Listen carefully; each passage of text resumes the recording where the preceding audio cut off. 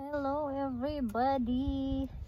We are now here on the rooftop with Chewy guarding me. So we are gardening here.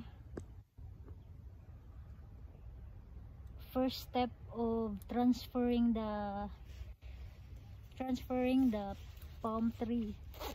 But our topic is not the palm tree, not the plant.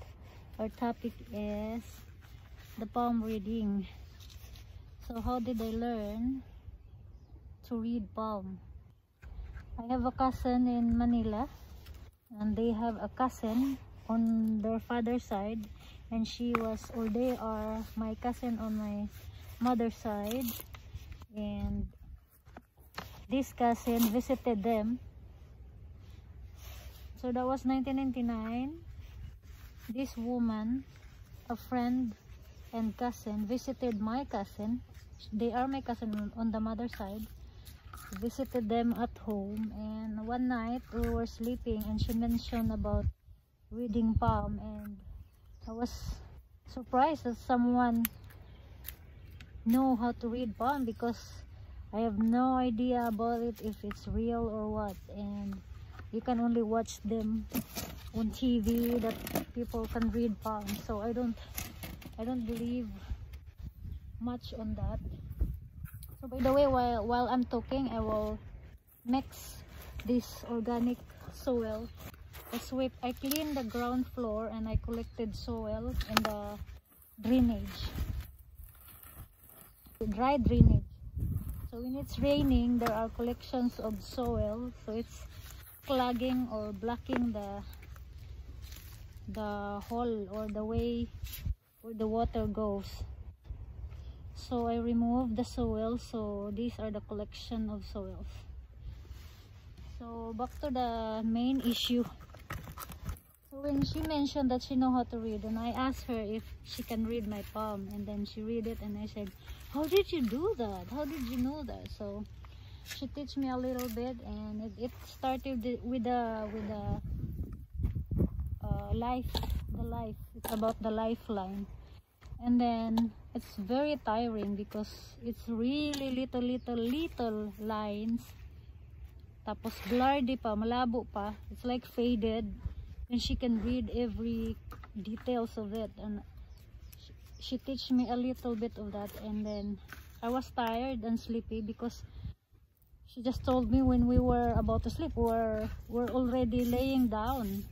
We lie down on the bed and we got up because I was so makulit. I was eager to let her read my palm and then eventually ask her to teach me. So when I get tired we sleep and I said uh, we will continue tomorrow. And she said you have to get up early because I will go to work tomorrow. And so she teach me like the the lifeline and I said where's this and that and this and she said this is the love life. This is the uh, money line. This these are the health line. These are the life like that. So we sleep. The next day I woke up in the morning. I don't see her anymore. So she's gone. And my cousin said she already went off. You did not wake up early. And I said well, when you are young, even even bomba, even a bomb, it's difficult for you to get get up. So I was sad. I was sad when she left because it wasn't finished. The life as normal. That was 1999, right? So later on, years passed by.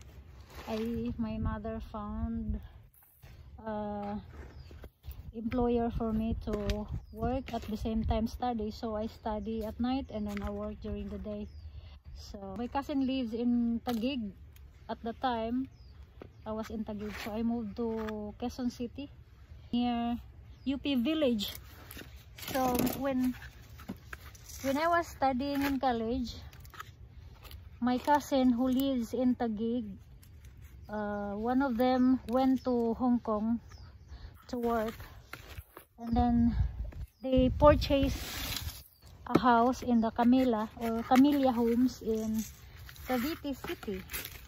So one time my cousin from Hong Kong came back home to their new home in Cavite and then she brought us to Tagaytay for a tour in the volcano view viewing so after that one one time her sister and my cousin I mean both of my cousins they went to Japanese embassy to apply for a visa. Someone works in Hong Kong. She wants to go to Japan. So we lined up. We line up in the Japanese embassy. And then she mentioned that she's in trouble with her love life because she has a few manliligaw na she can't decide which which one or who. Who who she will pick will choose.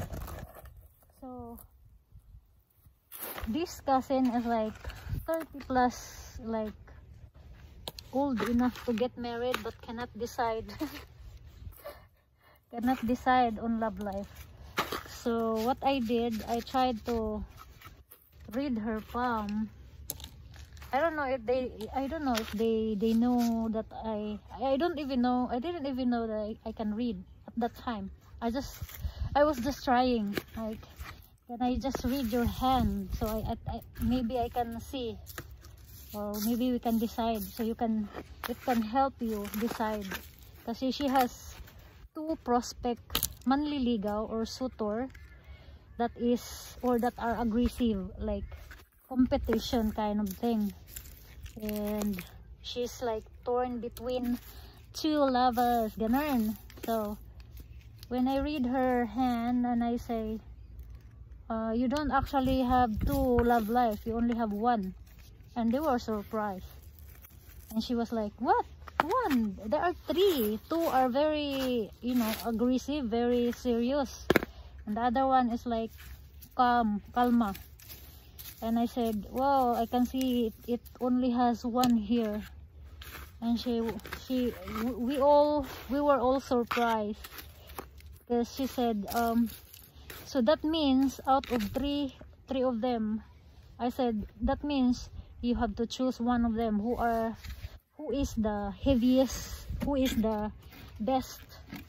You choose one of them and that's the only one will mark on your heart and mind. That's why you have one in the line of love life.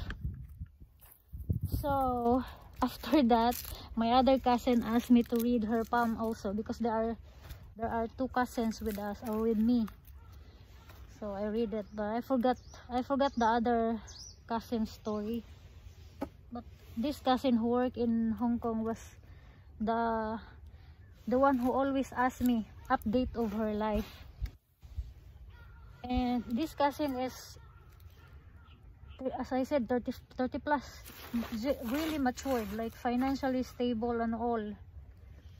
But you know she was looking to settle down to have a good you know family or love life. And I actually told her one one only one love life and he will marry you.